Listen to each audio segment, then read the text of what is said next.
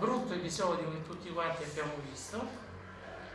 Si tratta di tre persone, ce n'è una quarta la cui posizione è al vaglio, ma al momento abbiamo denunciato tre persone per lesioni aggravate dall'utilizzo di eh, corpi contundenti, avete visto tutti quanti che avevano in mano oggetti ecco, come questi che hanno utilizzato per colpire il migrante.